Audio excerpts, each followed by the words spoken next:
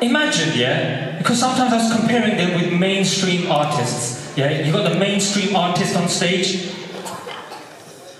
How am I gonna do this? Yes, yes, yes.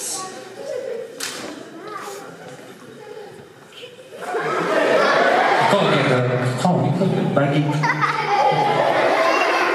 One from the back. Yes, dangerous.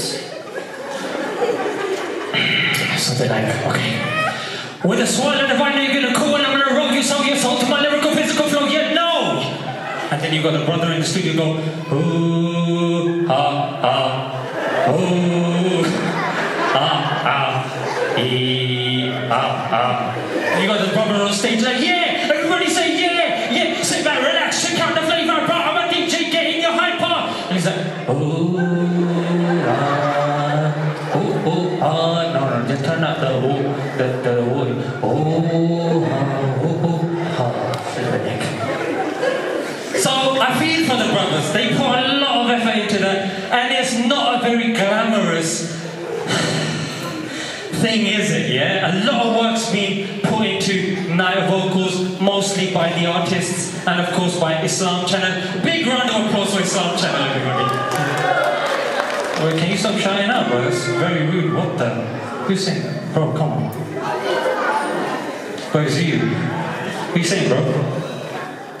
Yes. Can't say something. I thought so, mate. Everyone shuts up when I go up. That's what I'm saying, mate. That's what I'm saying. Hotel Winery right now has no trainers.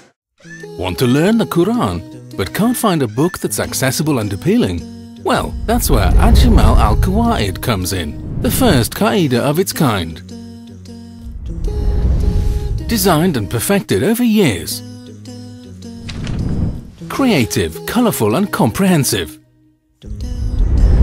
One step away from the Quran.